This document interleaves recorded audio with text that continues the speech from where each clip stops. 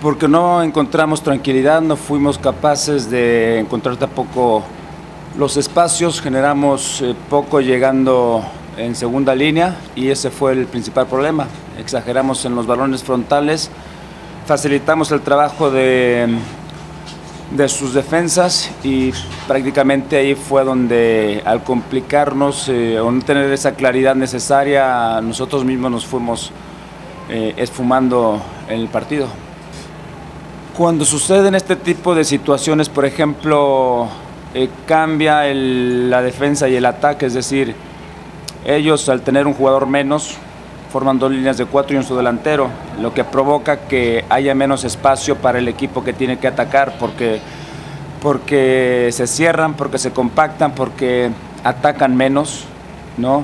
Entonces ese fue el, el punto principal. Yo creo que eh, no supimos eh, generar los espacios necesarios para, para marcar la diferencia.